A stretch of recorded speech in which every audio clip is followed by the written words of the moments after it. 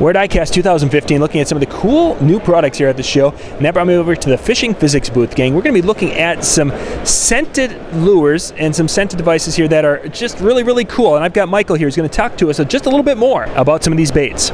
I'm Mike Perry. I'm president of uh, Fishing Physics. And we have a new bait, uh, Genius Bait, which is a scented bait uh, that is actually water-based, not oil-based.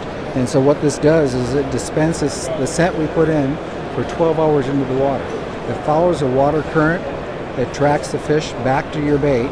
It's uh, no different than chumming your own fish uh, to your bait. Unlike all the other uh, scented baits that are oil that comes up to the surface, ours actually stays in the current and it lasts for 12 hours. It's made out of a hydrogel, not a rubber or plastic. Our, our hydrogel is biodegradable so that the it actually biodegrades in the water.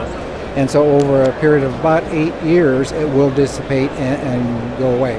Unlike all the other plastics, it take about a thousand years. And so we're excited about helping the, the area of fishing and, and keeping it alive forever and uh, bait that works extremely well for both freshwater and saltwater. So, Mike, I noticed that not only do you have different colors there, but do you have different scents also on the display? Yeah, actually, we've got uh, earthworm, we've got shrimp, we've got minnow, we've got squid, we got herring. We have a variety of different scents, and it's based on what you're fishing for. We can put the scent into it. We can actually make this smell like apple pie, but of course we don't.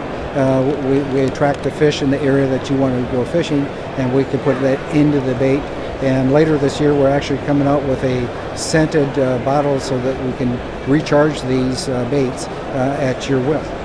That sounds great. Michael, if, if, people wanted to find out more information, where can they go to check these out?